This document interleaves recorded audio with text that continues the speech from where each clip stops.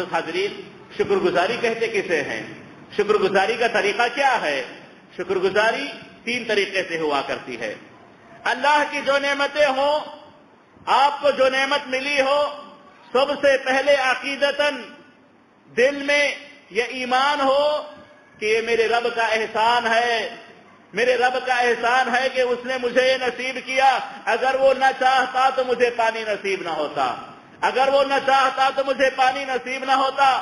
محسوس حاضرین، کتنی ایسی بیماریاں ہیں کہ جو انسان کے بدن سے پانی لگ جائے تو بدن سڑ جائے، چمڑا سڑ جائے۔ کتنی ایسی بیماریاں ہیں کہ جس کی بنیاد پر انسان کو پانی پینے سے روک دیا جاتا ہے۔ اور کتنے ایسے پیشنٹ ہم نے دیکھے ہیں کہ پانی کے لیے تڑپ رہے ہیں، لیکن پانی انہیں نصیب نہیں کیا جاتا، کیونکہ پانی ان کے پیٹ میں جائے تو انفیکشن ہو جائے گا، مختلف قسم کی تکلیفیں ہو جائیں گی۔ اب اللہ کا یہ احسان ہے کہ اللہ نے ہمیں جہاں پر پانی کی نعمت نصیب کی، وہاں پر اللہ نے ہمیں تندرستی نصیب کی۔ تندرستی نہ ہوتی تو پانی استعمال نہ کر پاتے۔ تندرستی نہ ہوتی تو پانی استعمال نہ کر پاتے۔ اور اگر تندرست ہو، پانی نہ ہو تو پانی کا مسئلہ ہو جاتا۔ تو حاضرین پانی کی اس نعمت کو عظیم تصور کریں پانی کی اس نعمت کو تصور کریں اور اللہ کا احسان مانیں۔ شکر گزاری کا سب سے پہلا مرحلہ شکر گزاری کی سب سے پہلی صورت یہ ہے کہ آپ اپنے دل کے ذریعے، اپنے دل سے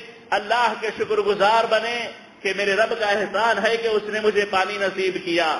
اس نے مجھے پانی نصیب کیا۔ یہ سب سے پہلا شکر کا طریقہ ہے۔ اور دوسرا شکر کی دوسری شکل، دوسرا مرحلہ، زبان سے اللہ کا شکر ادا کریں۔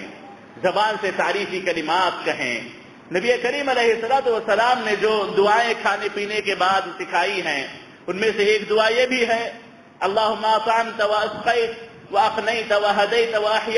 فلک الحمد علامہ آتیت اے اللہ تعریف تیری ہے، جو کچھ تو نے مجھ کو عطا کیا، اس پر اے اللہ تیری تعریف ہے۔ اے اللہ تو نے کھلایا، اے اللہ تو نے پلایا، اے اللہ تو نے زندگی دی، اے اللہ تو نے ہدایتیں دی۔ غرض یہ کہ اللہ تعالیٰ کی تعریف اس بات پر کہ اس نے ہمیں کھلایا پلایا۔ اس نے ہمیں کھلایا پلایا۔ اور کسی کے پاس کچھ کھا لے پی لے اللہ کے نبی نے جو دعا سکھائی اللہ من اطعمنا وسق من سقانا، کہ اے اللہ، جس نے پلایا تو اسے پلا دے، جس نے کھلایا تو اسے کھلا دے۔ تو موسط حاضرین، یہ پانی پلانا، کھلانا اللہ تعالیٰ کے عظیم نعمتوں میں سے ایک نعمت ہے۔ اور یہی وہ پانی تھا کہ جس کی خدمت، جس کے صحیح استعمال سے اللہ تعالیٰ نے ایک زانیہ کو جنت نصیب کر دی۔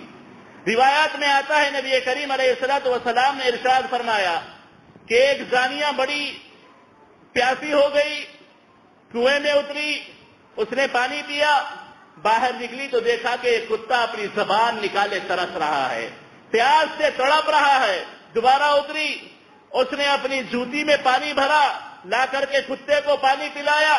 اللہ تعالیٰ نے اس سکھایت کے بدلے، اس پانی پلانے کے بدلے اس کی مغفرت کر دی، اس کے گناہوں کو معاف کر دیا۔ تو محسوس حاضرین، کھلانا پلانا خصوصی طور پر پانی کی نعمت کا صحیح استعمال یاد رکھیں، اللہ تعالیٰ کو پسندیدہ ہے۔ شکر گزاری کی دوسرا، شکر گزاری کا دوسرا مرحلہ۔ شکر گزاری کا دوسرا طریقہ یہ کہ آپ زبان سے اللہ کے شکر گزار بنے الحمد للہ الشکر۔ احادیث میں آتا ہے کہ شکر کا سب سے اونچا درجہ شکر گزاری کا سب سے اونچا درجہ یہ ہے کہ آپ الحمد کہیں الحمد آپ کی زبان پر ہو۔ یہ بڑا عظیم اور جامع کلمہ ہے۔ یہ بڑا عظیم اور جامع کلمہ ہے۔ اس کے بڑے ہی مختلف معانی ہیں اور اس کی بڑی فضیلتیں ہیں۔ راس شکریہ الحمد زبان سے الحمد آپ کہیں۔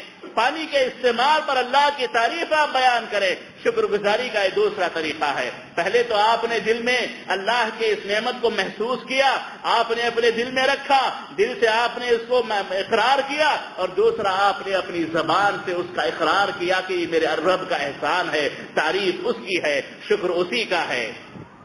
یہ دو صورتیں ہوئی تیسری اور آخری شکر گزاری کی شکل جو بڑی اہم ہے وہ ہے پانی کا صحیح استعمال۔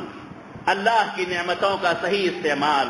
بندہ اللہ کی نعمتوں کا صحیح استعمال کرے۔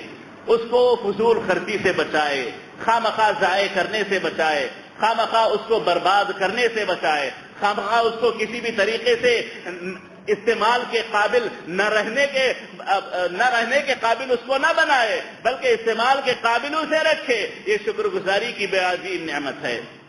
ایک روایت میں آتا ہے کہ نبی کریم رضی نبی کریم علیہ السلاط والسلام سعد رضی اللہ تعالیٰ عنہ کے پاس سے گزرے دیکھا وہ وضو کر رہے ہیں۔ دیکھا کہ آپ وضو کر رہے ہیں۔ دیکھا تو کہا کہ ماہد سرف یہ اسراف کیا ہے؟ یہ اتنا پانی کیوں تم برباد کر رہے ہو؟ وضو کے لیے مختصر سا پانی کافی ہے۔ یہ اتنا زیادہ پانی کیوں ہے؟ سعد رضی اللہ